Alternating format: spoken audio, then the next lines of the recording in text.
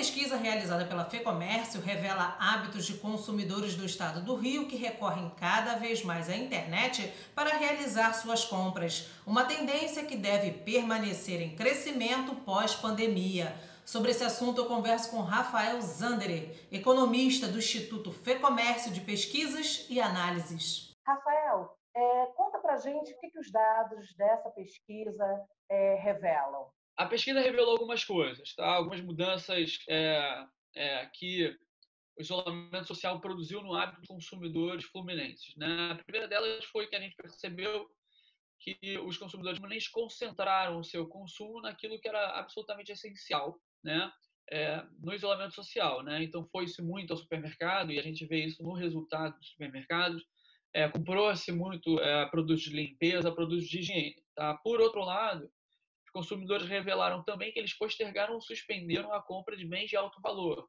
Tá? Bens de alto valor são bens que a gente chama de economia de bens duráveis, né? que são bens cuja, que são perenes. Né? O, o desgaste do bem é, é, é longo. É, ele demora a se desgastar ao longo do tempo. Tá? Então, 81,7% dos consumidores fluminenses disseram que suspenderam ou postergaram o consumo desses bens. Tá? E eu falava, uma parte fez isso simplesmente porque não conseguem comprar esses bens pela internet. É, é uma, um exemplo disso é carro. Né? Quando você olha para o resultado é, do que está acontecendo nas concessionárias, né, do ritmo de emplacamento de novos veículos, o resultado é péssimo, é catastrófico. Isso com certeza se deve ao fato das pessoas não poderem comprar carro pela internet. Ninguém compra carro pela internet, eu, eu acho que isso é muito raro. Né? Agora, bens de alto valor também são eletrônicos, eletrodomésticos esses bens são comprados na internet. Né? Então, o que eu estou falando é o seguinte: uma parte deixou de comprar esses bens porque está muito.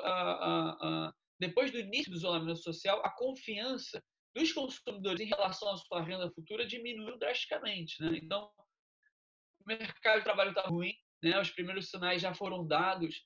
Então, quando você olha o que está acontecendo no mercado de trabalho formal, os resultados de março e abril são os piores para esses meses da série histórica quando você olha para o mercado de trabalho como um todo, o resultado não é muito diferente. Então, o consumidor está ele tá atento ao que está acontecendo no mercado de trabalho. Né? Então, alguns já estão desempregados. Os que estão empregados eles estão com medo de ficar desempregados. Ou estão com medo de ter o seu contrato de trabalho suspenso, porque isso é uma possibilidade que a medida provisória 936 abriu. Né? Então, estão muito. Uh, uh, uh, não estão confiantes em relação à sua renda, não estão confiantes em relação ao seu trabalho e por isso suspendem ou prorrogam, né? É, postergam o consumo de bens mais caros, né? dedicam o seu consumo àquilo que é exclusivamente necessário e deixam para depois é, o que não é absolutamente necessário. Então, esses bens, né? eles, óbvio que eles compõem uma parte importante do bem-estar das pessoas, mas eles não são absolutamente necessários. Né? Então, quando a renda cai, ou quando a expectativa sobre a renda não é muito boa, né? É normal que o consumidor é, tenda a deixar para depois o consumo desses bens. Então, essa é uma parte da pesquisa. Uma outra parte da pesquisa interessante é o seguinte: a gente perguntou os consumidores fluminenses eles uma vez terminado o isolamento social, se eles consumiriam mais na internet do que antes do isolamento social. O que a gente viu é o seguinte: olha, no isolamento antes do isolamento social, 73,6% é, dos consumidores fluminenses iam à internet ou ao canal online fazer compras. Tá? Passado o isolamento social, 78,5% dos fluminenses pretendem ir ou continuar indo ao isolamento social. Então, o que eu estou falando é o seguinte: parece que vai haver um aumento de 4,9 pontos percentuais no número de pessoas do estado do Rio de Janeiro que vão aos canais online fazer compras. Tá? Isso, parece, isso pode parecer pouco, 4,9 pontos percentuais. Mas estou falando de 4,9 pontos percentuais da população inteira adulta é, fluminense. Então, provavelmente, eu estou falando de um número que é maior do que o município de Petrópolis. Então, não é qualquer coisa. Então, acho que fundamentalmente isso. Então, para resumir, as pessoas passaram a consumir aquilo que era estritamente necessário, deixaram para depois o consumo de bens mais caros, que são esses bens duráveis, e aparentemente o maior, maior, número de pessoas vai, depois do isolamento social, ir para esses canais, irrigar esses canais da internet é, para fazer compras. Tá? Eu acho que é basicamente isso.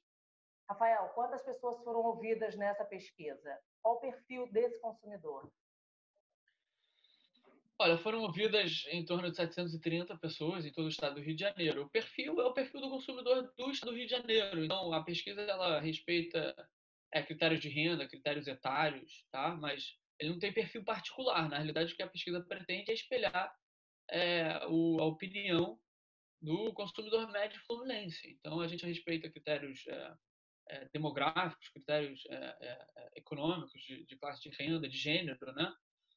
Para que a gente consiga, no final das contas, afirmar, olha, esse é mais ou menos o comportamento médio da pessoa que mora, da pessoa que consome no estado do Rio de Janeiro, mas não tem um perfil particular, são todas as pessoas é, do estado do Rio. Agora, Rafael, com o afrouxamento das medidas é, de isolamento social, você acredita que esse consumidor vai continuar comprando pela internet? Eu acho que sim. A pesquisa também revelou que uh, o número de pessoas, a proporção de pessoas que vão à internet depois da pandemia vai ser maior do que o número anterior ao isolamento social, tá? Então a gente estimou é, que a gente perguntou, né, para as pessoas é, qual era o número de pessoas, a gente tentou verificar isso, né? Qual era o número de pessoas que iam à, internet fazer compras antes da pandemia e o número de pessoas que iam à internet para fazer compras depois da pandemia. O que a gente viu é o seguinte, olha, a proporção de consumidores no estado do Rio de Janeiro que iam à internet fazer compras antes da pandemia era igual a 73,6%. Tá? Depois da pandemia, a gente espera um, um, um número, uma proporção igual a 78,5%. Ou seja, o que eu estou falando é o seguinte: a gente espera, né, pelo menos a pesquisa revelou isso, um aumento de 4,9 pontos percentuais do número de pessoas que vão à internet fazer compras. Tá? Isso parece um número, pode parecer um número pequeno, tá? Mas eu estou falando de 4,9 pontos percentuais da população de toda a população adulta do estado do Rio de Janeiro. Em termos absolutos, esse número é maior do que a população de Petrópolis, tá? Então, não é qualquer coisa, tá? É, um, é, é uma população inteira de um município importante do estado do Rio de Janeiro que, depois de iniciar o isolamento social, passou a internet fazer compras. Então, a, a expectativa é que é muito difícil a gente mudar a hábito de consumidor, né? Mas eu acho que talvez essa talvez seja a grande mudança, né? Os hábitos eles são muito arraigados e estruturados. É difícil, eu acho que o consumidor responde muito bem incentivo econômico, então ele, é, quando o preço, o preço diminui, o preço aumenta, ele responde muito bem esse tipo de incentivo. Mas outros são mais difíceis, são, estão mais arraigados nas pessoas, mais estruturados. Né? Então é difícil você levar uma pessoa à internet se ela não tem esse hábito, ela não está habituada a fazer isso, ela não gosta da tecnologia.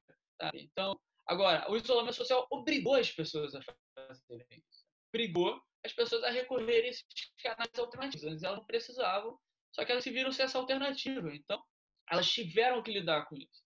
Então, me parece razoável imaginar, né, de todas as transformações que se falam, do novo normal, do consumidor, me parece que a mais razoável é imaginar, olha, uma vez é, é, é, fim do isolamento social, né, terminado o isolamento social, o número de pessoas que vão consumir na internet vai ser maior do que o número anterior.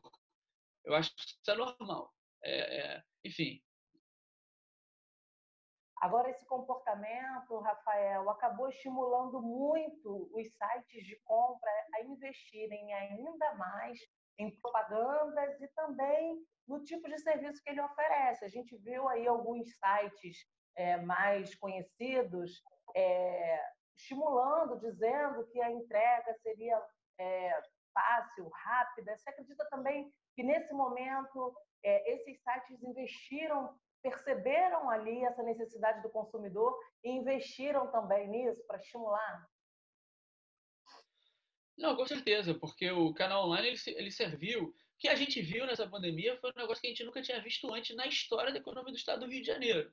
Né? Então, o isolamento social produziu uma queda da demanda e faturamento das empresas gigantesco. A gente nunca viu isso antes. Então, por exemplo, ontem saiu um dado que não é exatamente sobre o que a gente está falando, mas que dá um cheiro do que das estatísticas que a gente vai ver a partir de agora a respeito uh, da crise econômica que o isolamento social produziu. Tá? Então, a produção industrial no Brasil caiu em abril quase 20% em relação ao mês anterior.